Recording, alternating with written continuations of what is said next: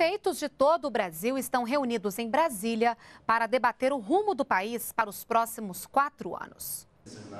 A ideia é fortalecer o diálogo do governo federal com as cidades e, assim, melhorar a gestão municipal e ajudar a identificar e aumentar as oportunidades de investimentos. O objetivo é compartilharmos com os prefeitos e prefeitas a elaboração do PPA.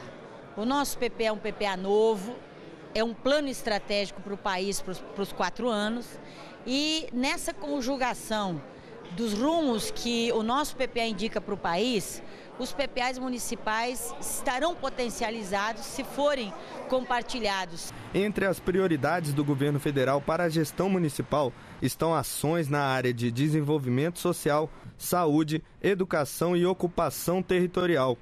O importante é alinhar o planejamento entre os diferentes níveis de gestão. É importante o país conhecer os problemas dos municípios e é importante que os municípios também, é, entre eles, é, conheçam os problemas é, do Brasil. No encontro também foi discutida a necessidade de estruturação de um sistema nacional de planejamento, com participação social e cooperação federativa. O sistema é esse: construir uma rede de planejamento para o país, eh, seja ela de informações, seja ela de sistemas uh, efetivos para que eles possam, utilizando as nossas informações nacionais, qual é o rumo do nosso, do nosso PPA, eles potencializarem e entrarem com a mesma sintonia, com o mesmo rumo para os seus municípios.